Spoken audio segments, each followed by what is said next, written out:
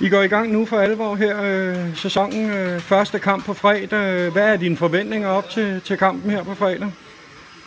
Det er altid rart at, at komme i gang og spille øh, turneringskampe, der, der gælder om noget. Det er der ingen tvivl om, så det glæder vi os til. I, uh, I har spillet en del træningskampe her op til, til, til sæsonstart. Øh, hvad, hvad tager du ud af de træningskampe, Carsten, øh, du kan bruge fremadrettet, du skal arbejde på? Og hvad tager du med, du, du synes, der har været, været tilfredsstillende? Nej, vores, øh, vores forsvarsspillere, vi har fokus på, øh, det har vi lige måtte øh, have lidt fokus på. Øh, der er blevet lukket for mange baglandsmål ind.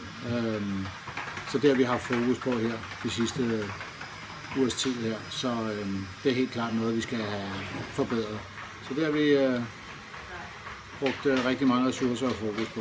Det er der ingen tvivl om. Øh, apropos det, øh, så, så kan man jo sige, der er jo gået, gået ret mange mål ind på jer, øh, og du siger, det er noget, I arbejder på målrettet. Øh, bliver det så med den tro, vi har nu, Carsten, eller er I stadigvæk på kig efter den sidste importplads dernede på bakpladsen?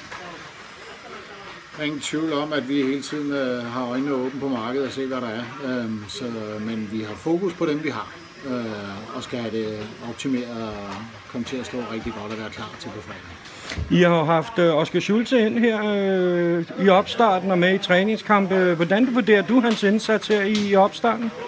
Det er altid rart og glædeligt, øh, når en ung dansker kommer og, og byder sig på og, og vokser for hver evig eneste træning og faktisk øh, også for kamp. Øh, så det er en af de øh, glædelige overraskelser. Øh, han gør det rigtig godt.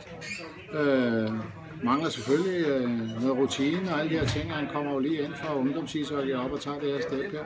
Men han er dygtig, han er målrettet, yder seriøs, øh, spilintelligent.